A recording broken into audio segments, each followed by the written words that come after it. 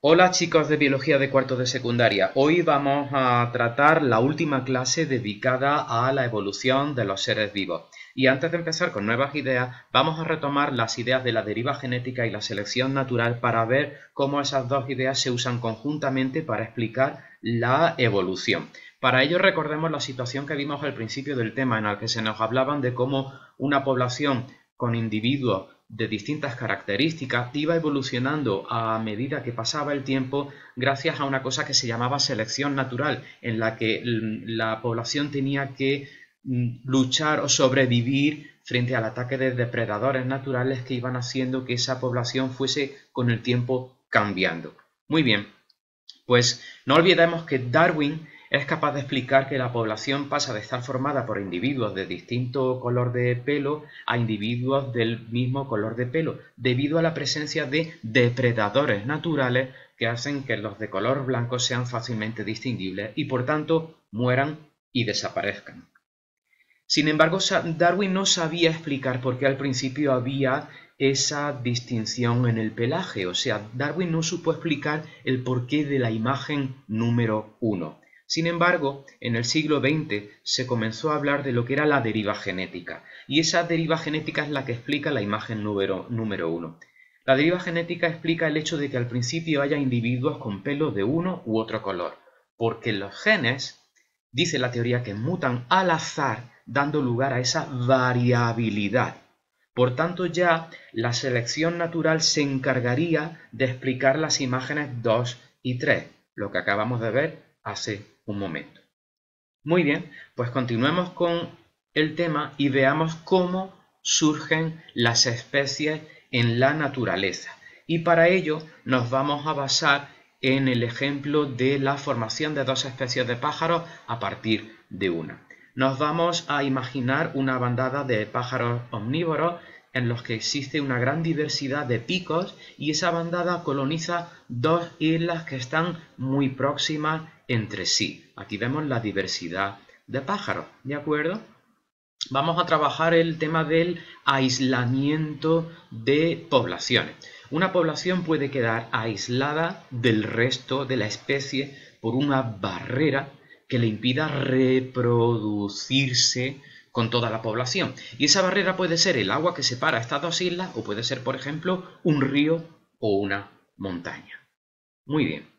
Pues pensemos que en, la, en una de las islas el alimento más abundante son semillas gruesas. Por lo tanto, los pájaros que están más favorecidos son los que tienen picos potentes y gruesos para romper esas semillas y en la otra isla predominan insectos. Por lo tanto, los pájaros más favorecidos por la selección natural serán los pájaros de pico finos para alimentarse de los insectos.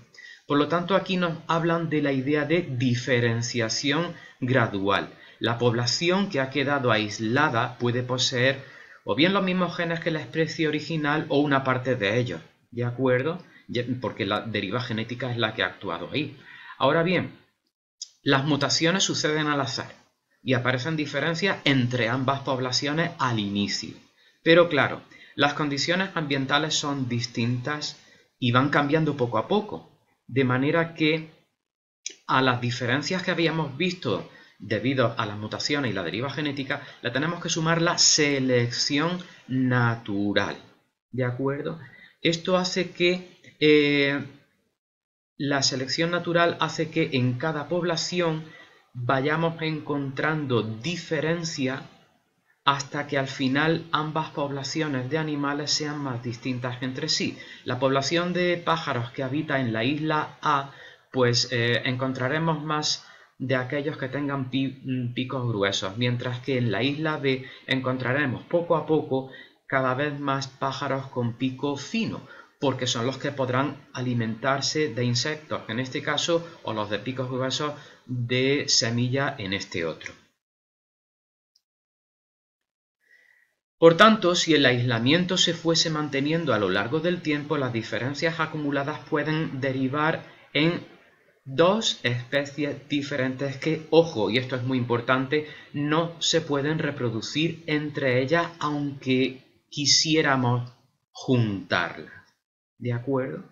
Esto es lo que nos dan a, explicar en este último punto. Dos especies distintas nos explican que un aislamiento prolongado puede dar lugar a una población tan distinta de la original que pierde la capacidad de cruzarse con ella y dejar descendencia.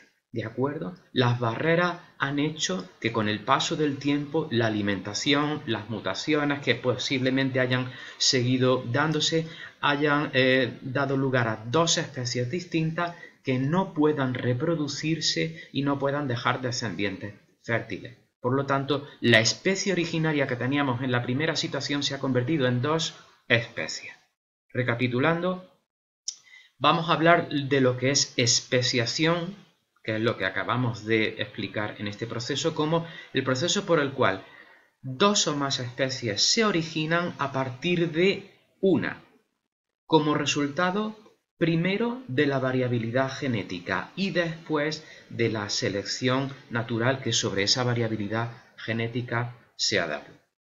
Lo tenemos aquí en el ejemplo. La variabilidad genética produce pájaros con distintos picos debido a mutaciones genéticas al azar y la selección natural hace que al separarse las dos islas llegue un momento en el que los pájaros no puedan desplazarse de un lugar a otro para buscar las semillas que mejor puedan comer, por lo que en cada isla prospera solo una especie frente a la otra. Bien, imaginemos este otro ejemplo. Em, vamos a ver una animación en la que vamos a ver cómo dos, una sola especie de, ranas, en este caso, va a ir evolucionando de manera similar a lo que acabamos de ver en el ejemplo de los pájaros. Vemos aquí que tenemos una especie de rana que vive en una isla donde el clima es frío y húmedo y la vegetación es más alta. Y mm, vemos aquí cómo se representa la genética de las ranas y, el hecho en sí de que puedan tener descendencia entre ellas. Como tenemos la misma genética entre ambas, la descendencia obviamente es posible. Vamos a ver lo que ocurriría si la isla se fuese fragmentando por procesos geológicos y las eh, ranas se fuesen aislando unas de otras nos damos cuenta de que han pasado 130.000 años. Y mm, fijaros como esta rana sigue siendo muy similar a la anterior, pero ha cambiado un poquito su genética. Sin embargo, puede seguir habiendo descendencia. Fijaros como el aspecto de la rana, a pesar de que las islas se han separado, sigue siendo similar, ya no es del todo igual, pero es similar, la genética también es similar y por tanto puede haber descendencia.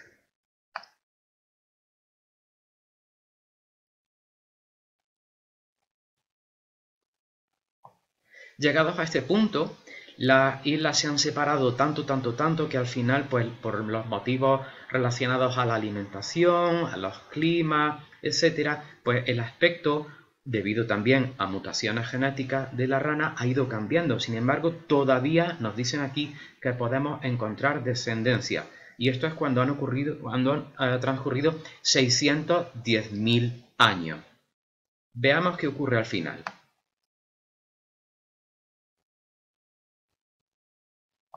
Fijaros como después de un millón cincuenta mil años, la rana que se ha quedado habitando en la isla, que se ha ido separando hacia climas más áridos, con vegetación más escasa y baja, pues en ella ha bajado, ha cambiado, perdón, tanto su genética que ya es imposible que se pueda cruzar con la anterior. Aunque físicamente cogiésemos esta rana y la juntásemos con la otra, no podrían eh, tener descendencia porque ya serían especies de rana distintas.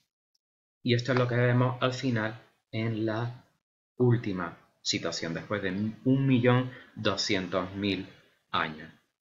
Muy bien, espero que la clase haya sido lo suficientemente interesante y nos vemos en la próxima. Bye bye.